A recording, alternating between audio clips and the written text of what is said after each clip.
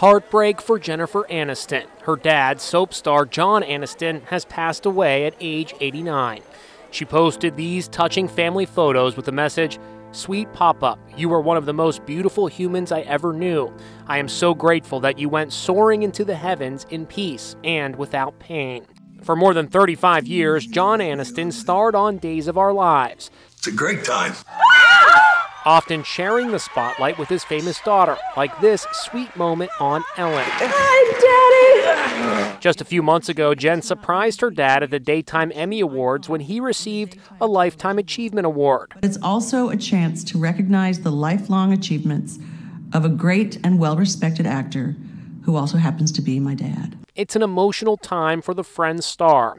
Just last week, she went public for the first time with her fertility struggles in attempts at IVF.